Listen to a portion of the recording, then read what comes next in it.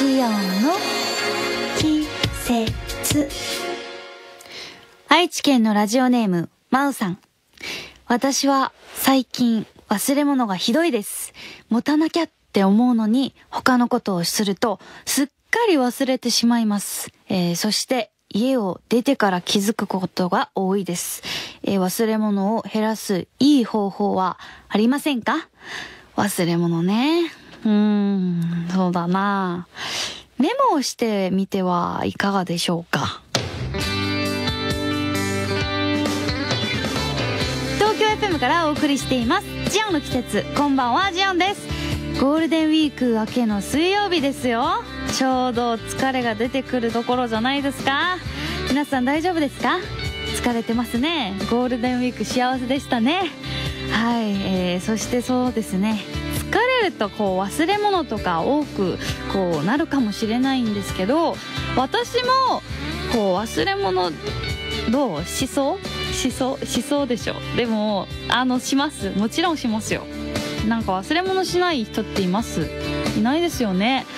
私はねまあたまに携帯忘れてきたりあなんか台本とか忘れたりあとはなんだろう財布忘れてきたりまあするんですけどなんだろうなこういつもとこう違う場所に置くともっとね忘れやすいじゃないですか。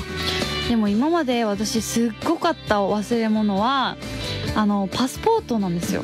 パスポートえって思うでしょ？そう忘れてしまっちゃったんですよ。でも無事にあの日本に帰ることはあのあったんですけどあの韓国で休みに行った時になんか昼の飛行機でこう日本に帰ってくる予定だったんですよ。それであの家で出てこうルンルンって出てあのこれから美味しいもの食べてあの空港に行こうって思ってこう楽しくね食べてねじゃあねまたねってなってカバンを見たらねパスポートがないわけ。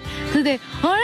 ってなってね良かったのはパパが家にいたからパパに電話してこう忘れたのって家にあるって言ったらあよかったのあったの家にあったの。それで家まで戻ってパスポート取って行ったんだけどパパが最後の姿をすっごい怒ってたの。最後のことはもうなんか忘れ物しちゃいけないでしょってななんて大事なものを忘れるんだよってすっごい怒られたの。それでごめんなさいってなって じゃあねってなって帰ってきたんですけどそういうねハプニングもあったんですよ。まあでも真央さんはどんなものを忘れるのかな？17歳でしょ？なんか大体あれなのかな？本とか教教科書とかそういうものなのかな？宿題とか。まあでも忘れ物は本当にほらわかんないじゃん。わかんないからついついこう大事なものは忘れないようにこう頭の中で考えることとあとは本当にさっき言ったようにメモをすることが大事じゃないかな。でもメモをしたその紙も忘れたりして携帯にメモをして忘れたりしてそれはちょっとやばいですよね。だからちょっとあのしないように私はもう忘れ物しないって頭の中で考えてみるのはどうですか？忘れ物といえば、えー記憶に関わりますが、えー今日はこの1年間のジオンの季節をよく思い返してください、えー番組の中でやった企画とか、え私が話したこととかなんでかって、えこの後ねやるんですよ。第1回のジオンクイズです。お楽しみに。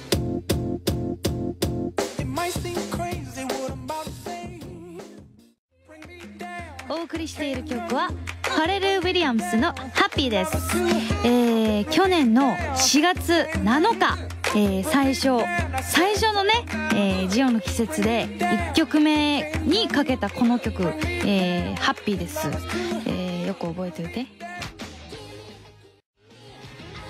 ジオンの季節を聞いてるリスナー諸君。この番組には初めての登場になる親父音だ。よろしく。え？何？親父音を知らないって？おいおい冗談はよしてくれよ。まだ1年も経ってないぞ。え？本当に知らないのか？ドラマ「タミオ」でジアンが演じた姿は女の子だけど中身はお父さんと入れ替わって親父になっただろう！あれが親父音だよ。おいおいしっかりしてくれよ！じゃあ行くぞ。第1回ジオンクイズ！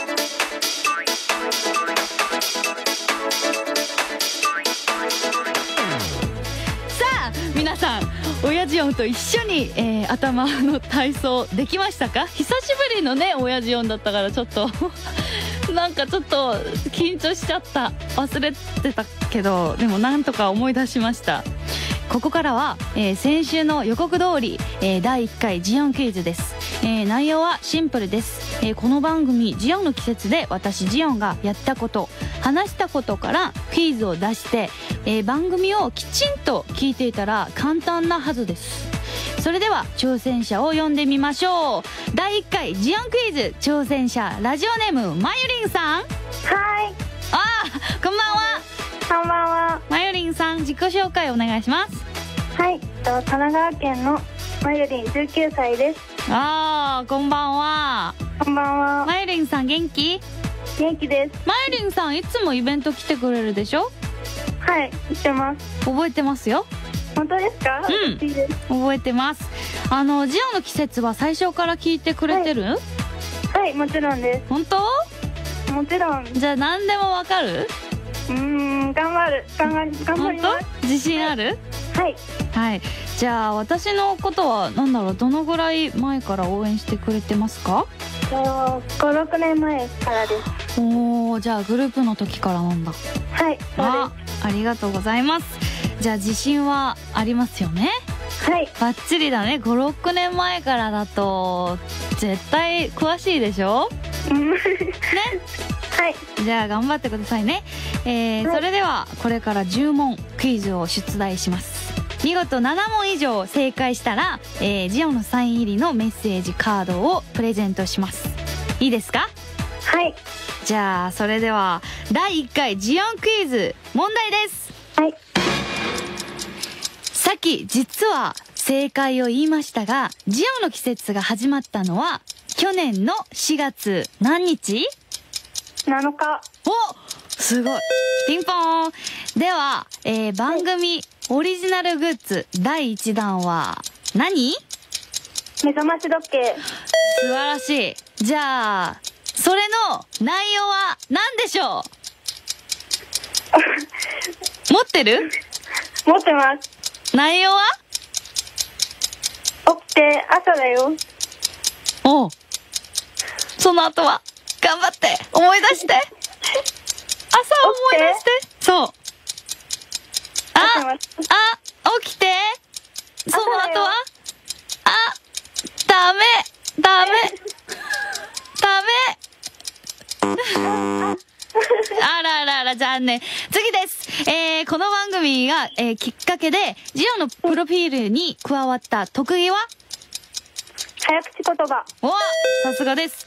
えー次です。えー去年の10月から公開されている私の主役の映画、ネスレシアターオン YouTube の作品のタイトルは？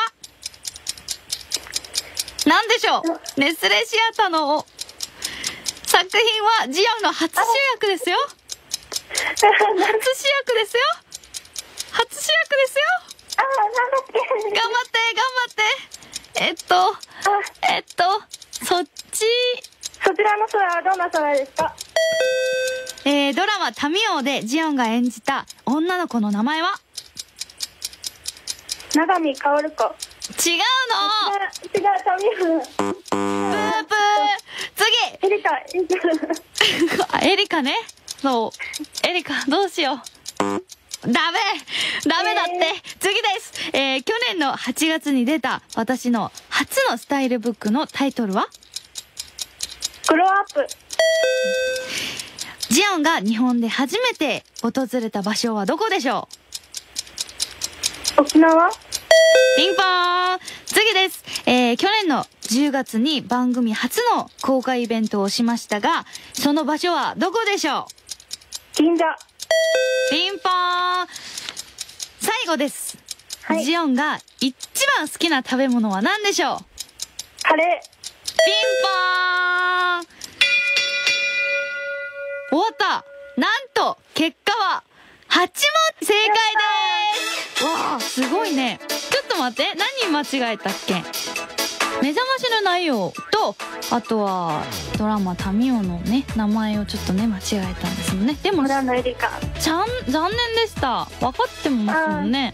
あれはもう一回言って。その内容目覚まし時計の内容。目覚まし時計。私わかるよ。おはよう。朝だよ。起きて。あ ダメダメダメダメ。二度寝しちゃう。そうほら分かってるじゃん。うん。9だったからねちょっとね。でもよく頑張りました。さすがです。あのーこれもよく覚えてましたね。さあのージオの季節が始まった日。それはも4月ちろん。7日。さすが。あとはジオンが一番好きな食べ物ももう1秒も迷わず答えが出てきました。さすがです。もちろん何回も言ってたので。ありがとうございます、えー、それではですねまゆりんさんプレゼントがありますよ。はい。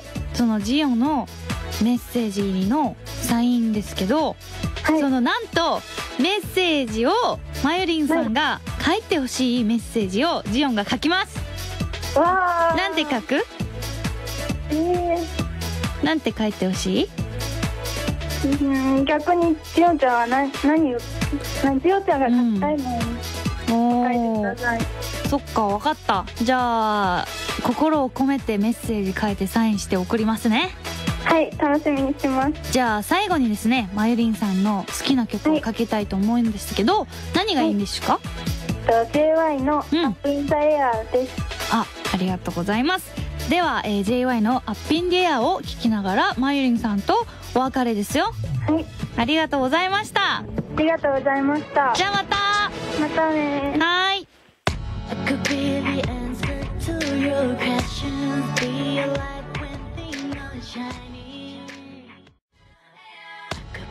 お送りしている曲は JY の「Up in the Air」です、えー、皆さんそうですねジオンのクイズ楽しかったですねジオンクイズ。初めてでしたけどさすがです。本当に感心しました、えー、皆さんジオンのクイズに挑戦したい方は東京 FM のトップページの番組表からジオンの季節のページにエントリーしてください。電話番号も忘れないでくださいね。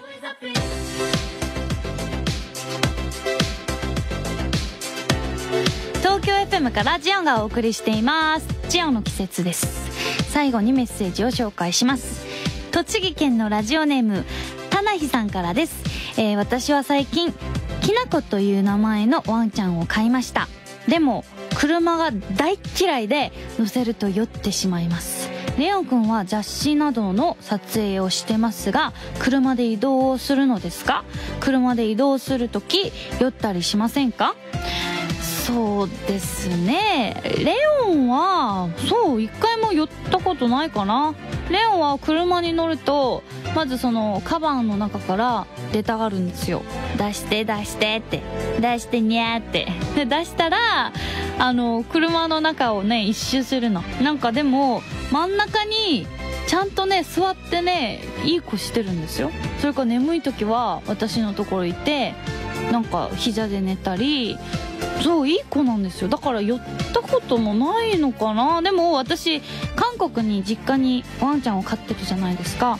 で車に乗るとあのほらタナヒさんのそのきなこちゃんみたいによくね酔う子がいたんですよ。それでなんかちょっと長い距離行くとなんかよねちょっとなんかこうは吐いたり大変なこともあったんですけど病院に聞いたらなんかそういうこの子はそういう体質ですって言われたんですよ。だから先生が言ったのはなんか長い距離行くと朝餌を与え与えないでくださいって言われたんですよ。だからそうしたら吐かなくなったしちょっと落ち着いたような気がしてだからそういう方法もあるしなんか犬用のなんか酔い止め薬とかもあるらしいんでちょっと病院に行って相談してみてはどうですか？ジオンよりは。はい。頑張ってきなこちゃん。次のメッセージです。山梨県のラジオネームホッタさんからです、えー僕は4月から大学生になりました。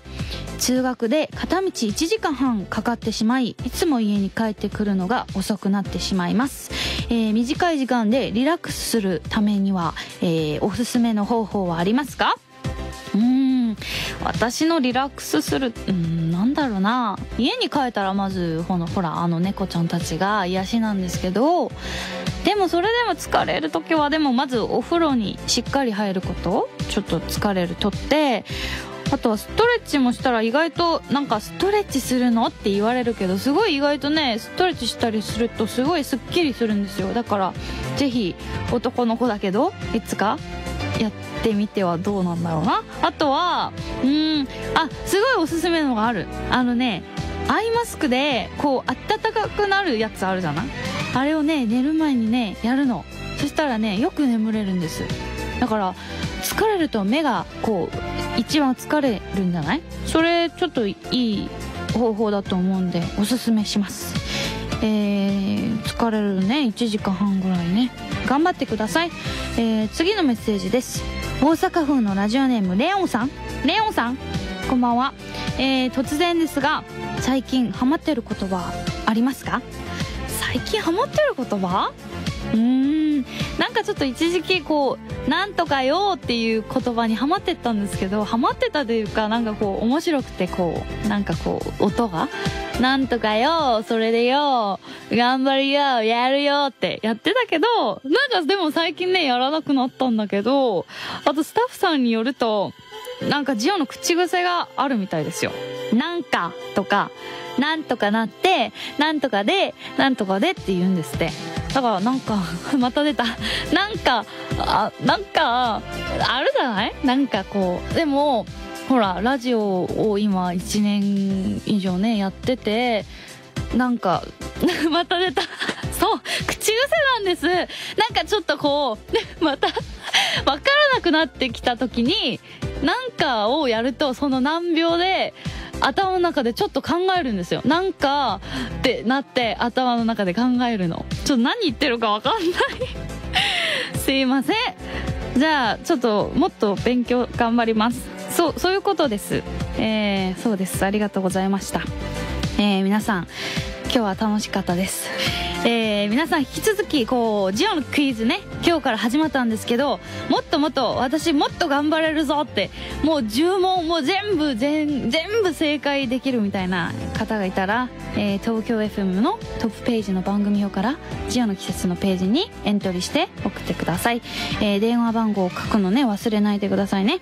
それではは今夜は、アウルシティカーリー・レイ・ジェプソンのグッタイムを聞きながらお別れです。それではまた来週水曜日夜9時15分にお会いしましょう。ジョンでした。「